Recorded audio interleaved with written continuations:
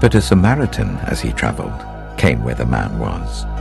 And when he saw him, he took pity on him. He went to him and bandaged his wounds, pouring on oil and wine. Then he put the man on his own donkey, brought him to an inn and took care of him. The next day he took out two denarii and gave them to the innkeeper.